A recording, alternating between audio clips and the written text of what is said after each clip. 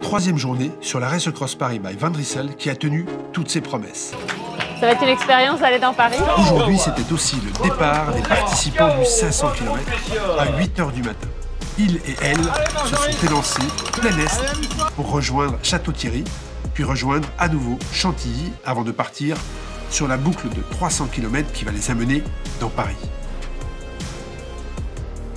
Le premier finisher du 1000 km, Thomas MS Dael, est arrivé en fin d'après-midi après deux jours, 16 heures et 48 minutes d'épreuve. En parlant du 300 km, nous avons accueilli la centaine de participants inscrits sur cette distance. Il et elle se sont élancés à 22 heures pour une belle boucle qui les fera passer devant les plus beaux monuments de Paris.